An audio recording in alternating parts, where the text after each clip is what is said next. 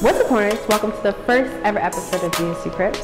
I'm your host, Brooke Mawson, and today I went to Jalyn's dorm. She lives on the second floor of Tubman. So yeah, let's get into it.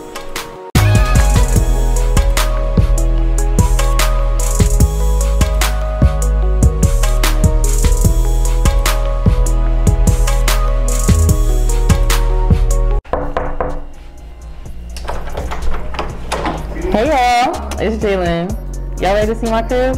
Okay, so to start off, first thing you see me walk into my room is my closet.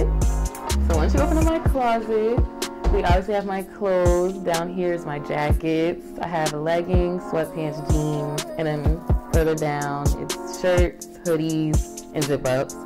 On the bottom down here, I have my shoe rack. I got the shoe rack from Walmart.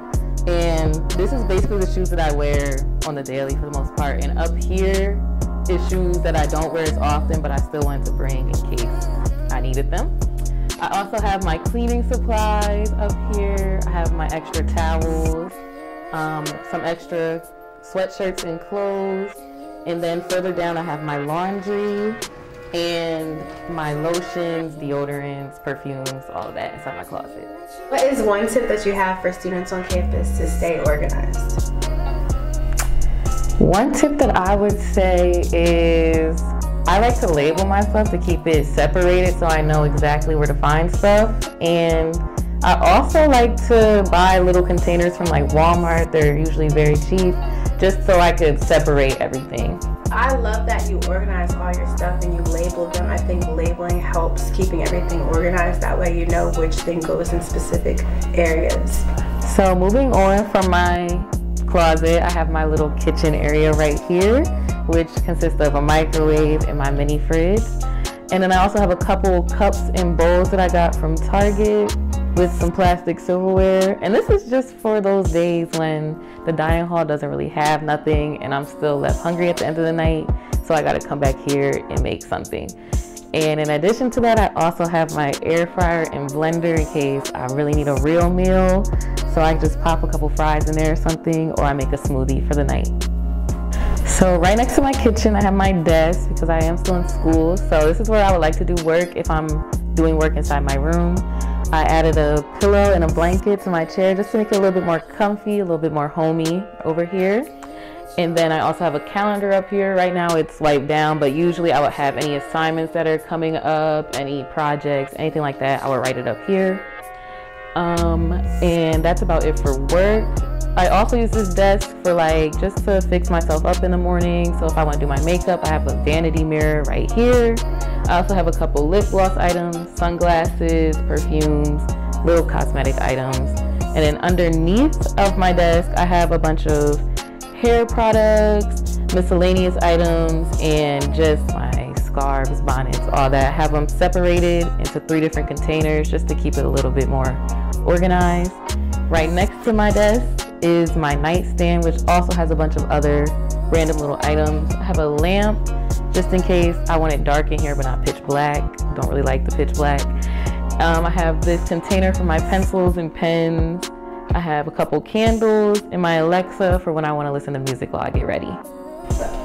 So this is my favorite part of the room, starting off with my TV. I like to watch TV every night before I go to bed. It just helps me put myself to sleep, usually cartoons or something like that. And then right next to my TV, I have my fan. I have to go to sleep with my fan on. I'm naturally hot, so I need to feel air on me to help me fall asleep. And then next to my fan is, of course, my bed. I love my bed. I have a blanket on my bed just for extra warmth. I have a couple pillows so my bed isn't too overwhelmed, but it has a little bit of decoration on it and silk pillowcases so that my hair can be protected at night. I also have a couple paintings on the wall that I had hung up when I moved in. That's just because I was going for like a black and pink look for my room. I got them both from Marshalls and I just love the simplicity of them. This also motivates me in the morning to make sure that I always put myself out there. And the last thing I have down here is my beanbag chair just for my friends when they come over. I want everybody to have a seat and they can all feel welcome. So I brought that and a rug so that when I get up in the morning that my feet have something to step on. So what inspired your theme for your room? For my room, I know personally I really like minimalistic styles, so that was something that I was already going in with. But I also did compile a bunch of pictures from Pinterest, Google, just a bunch of social medias. I put them together into have like a little board, and I just took what I liked from each picture. I just love the the black and pink theme so much. It like it suits you. Thank you. So what is one thing that you brought from home to campus? One thing that I brought from home is my stuffed animal. I have a lot of stuffed animals at home that I love to keep on my bed and sometimes sleep with.